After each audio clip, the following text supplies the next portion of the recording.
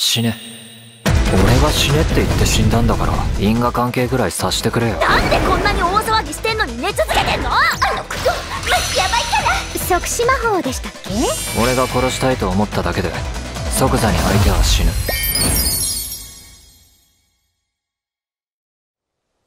なんでそのここまでして守ろうとしてくれるの？おっぱいが柔らかかったから？この世界ろくな男がいやしね